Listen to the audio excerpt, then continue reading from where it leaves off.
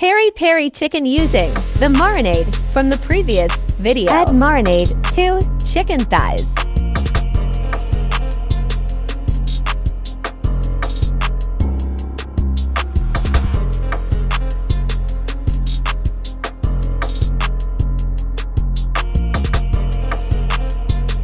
Add chicken to a pan. Cook in oven.